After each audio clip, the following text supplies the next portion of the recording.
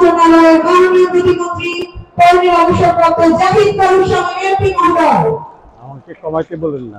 Late speak ওকে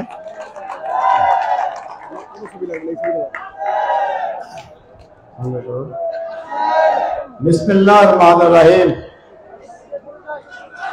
Barishal city কর্পোরেশনের নবনির্বাচিত mayor তার দায়িত্বভার গ্রহণ উপলক্ষে আয়োজিত এই সভা সভাপতিত্ব করছেন বরিশালের বিভাগীয় কমিশনার জনাব শওকত আলী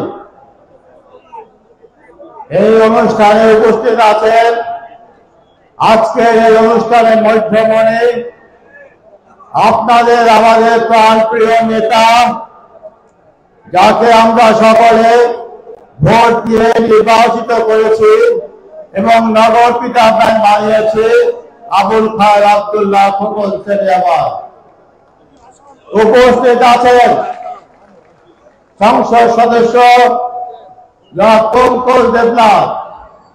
উপস্থিত আছেন সংসদ সদস্য জনাব শাহ উপস্থিত আছেন সংসদীয় সংরক্ষিত সংরক্ষিত আস- আসনের সংসদ সদস্য রুবিনা আক্তার মীরা আওয়ামী লীগের উপদেষ্টা মন্ডলীর সদস্য মেজর হাফিজ মল্লিক উপস্থিত আছেন সাবেক সচিব জনাব সিরাজুল ইসলাম, উপস্থিত আছেন পুলিশ কমিশনার, বরিশালের জেলা প্রশাসক, কাউন্সিলর বৃন্দ, আওয়ামী লীগের নেতা নেতৃবৃন্দ বরিশাল আওয়ামী লীগের সাধারণ সম্পাদক উপস্থিত আছেন। আমাদের দলের অঙ্গ সংগঠনের নেতৃবৃন্দ, মুক্তিযোদ্ধা ভাইরা, ভাই বোনেরা, আসসালাম আলাইকুম। আজকে বরিশালের জন্য একটা আনন্দের দিন। শপথ কখন এবার শপথ গ্রহণের পরে আমরা দীর্ঘ তিন মাস অপেক্ষা করছিলাম। প্রতিটা দিন আমরা গণনা করছিলাম কবে সেই ফোনটি আসবে, যেদিন খোকন এবার মেয়রের দায়িত্ব নেবে। আজকে ভাইরা সেই দিন এসেছে। আজকে এই চোদ্দ তারিখে আমাদের প্রাণ প্রিয় নেতা খোকন সেলিয়াবাদ বরিশাল সিটি কর্পোরেশনের নবনির্বাচিত মেয়রের দায়িত্বভার গ্রহণ করবে। ভাই বোনেরা, বিগত বছর বছরগুলোতে বরিশাল অবহেলিত ছিল, যেখানে বাংলাদেশ মাননীয় প্রধানমন্ত্রী জননেত্রী শেখ হাসিনার নেতৃত্বে এগিয়ে যাচ্ছিল, সেখানে বরিশাল অবহেলিত ছিল। এমনকি জাতির পিতা বঙ্গবন্ধু শেখ মুজিবুর রহমানের যে স্বপ্ন ছিল সোনার বাংলা, সেই সোনার বাংলা স্বপ্ন থেকে আমরা অবহেলিত ছিলাম। এটা আমাদের দুর্ভাগ্য ছিল। আল্লাহ রব্বুল আলমীর অশেষ রহমতের মাননীয় প্রধানমন্ত্রী জননেত্রী শেখ হাসিনার কৃপায় খোকন সাহেবকে মরণ দেওয়া হয় এবং বরিশালবাসী আজকে খোকন সাহেবকে নির্বাচিত করেছে। কারণ বরিশাল বরিশালবাসী চান একটা শান্তিপূর্ণ পরিবেশে বরিশালের উন্নয়ন হোক। বাংলাদেশে আনাতে কানাতে গ্রামে উন্নত হচ্ছে, এগিয়ে যাচ্ছে বরিশালও সেভাবে এগিয়ে যান এবং সেই জন্য আমরা বারোই জুন নির্বাচনে আপনারা দেখেছেন, বিপুল ভোটে বিপুল ভোটে তিনি নির্বাচিত হয়েছে আমরা বরিশালবাসী, আমরা আমাদের মুক্তিযোদ্ধা ভাইরা যে কারণে বাংলাদেশকে স্বাধীন করেছে আমাদের দুই লক্ষ মা বোনরা যে কারণে বাংলাদেশকে স্বাধীন করেছে, সেই লক্ষ্যে পৌঁছাতে হলে বাংলাদেশের অন্যান্য জায়গার সঙ্গে বরিশালকে এগিয়ে নিয়ে যেতে হবে। আমি সেই জন্য নবনির্বাচিত মেয়র শহীদকে আমি অনুরোধ আপনাকে বরিশালবাসীর আশা আকাঙ্ক্ষা পূরণ করতে হবে।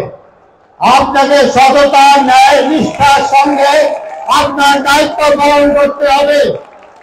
অতীতে কে কি করেছে, সেটাকে আপনারা উদাহরণ স্বরূপ দিতে পারবেন না।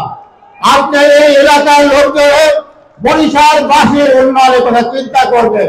বরিশালের মানুষ যাতে করে শান্তিতে বসবাস করতে পারে, বরিশালের মানুষ যাতে করে মাথা উঁচু করে বলতে পারে। যে আমরা বরিশালের মানুষ, আমাদের একজন সুযোগ্য একজন নগর পিতা আছে তাদের এই কথা কথা বলতে পারে, আপনি দয়া করে আপনি সেই পথে আপনাকে যেতে হবে। মাননীয় মহোদয়, আমি এখানকার স্থানীয় সংসদ সদস্য হিসাবে আমার পক্ষ থেকে যত সহযোগিতা দরকার, আমি আপনাকে সেই সহযোগিতা আমি বরিশালবাসী ভাই বোনেরা, আপনারা জেনে খুশি হবে গত বৃহস্পতিবার এক থেকে মিটিংয়ে এই বরিশালের উন্নয়নের জন্য সাতশো সাতানব্বই কোটি টাকা একটা প্রকল্প পাস হয়েছে। এটা হয়েছে বিগত বছরগুলিতে বরিশালে কোনো উন্নয়ন হয় নাই। মাননীয় প্রধানমন্ত্রী জগন্নাথী শেখ হাসিনা বরিশালের কথা বিবেচনা করে সাতশো সাতানব্বই কোটি টাকার প্রকল্পগুলি পাশ করেছে এবং হাসি মুখে পাশ করেছে এবং এই সাতশো সাতানব্বই কোটি টাকা প্রকল্পের ভিতরে সিটি কর্পোরেশনকে আশি কোটি টাকা দেওয়ার কথা ছিল। মাননীয় প্রধানমন্ত্রী শেষে সে আশি কোটি টাকাও অনুদান হিসাবে দিয়েছে। এর মানে মাননীয় প্রধানমন্ত্রী চান বরিশালের বিগত বছরগুলোতে যেভাবে অবহেলাতে আমরা জীবন যাপন করেছি। মাননীয় প্রধানমন্ত্রী চান, নবনির্বাচিত মেয়র তখন ছেলেবাদের নেতৃত্বে বরিশাল এগিয়ে যাবে। বরিশাল এগিয়ে যাবে, আমরা চাই বাংলাদেশের ভিতরে সর্বশ্রেষ্ঠ নগরী হিসাবে বরিশাল খ্যাতি লাভ করবে। ভাই বোনেরা ভাই বোনেরা আপনারা জানেন, ভাই বোনেরা আপনারা জানেন আপনারা জানেন যে মাননীয় প্রধানমন্ত্রী জগতে শেখ হাসিনার নেতৃত্বে বাংলাদেশ এগিয়ে যাচ্ছে। কিন্তু একটি দল তারা চাচ্ছে না বাংলাদেশ এগিয়ে যায় তারা চাচ্ছে না বাংলাদেশ সমৃদ্ধ লাভ করুক। তারা চাচ্ছে না বাংলাদেশ পৃথিবীর বুকে মাথা উঁচু করে দাঁড়ায় এই জন্য এই বিরোধী দলকে আমাদেরকে মোকাবেলা করতে হবে। এই বিরোধী দলকে মোকাবেলা করতে হলে আগামী সংসদ নির্বাচনে যে নৌকা প্রাপ্ত হয়ে আসবে, যিনি মাননীয় প্রধানমন্ত্রী জগতে শেখ হাসিনার মনোনীত যে প্রার্থী হবে, আপনারা তাকে ভোট দিয়ে নির্বাচিত করবেন। তাহলে মনে করবেন যে খোকন চালিবাজ মেয়র নির্বাচিত হয়েছে এবং নবনির্বাচিত যে সংসদ সদস্য হবে, তিনি যদি নৌকা নৌকা প্রার্থী হয়, তাহলে এই বরিশাল শহরের উন্নয়ন সম্ভব হবে।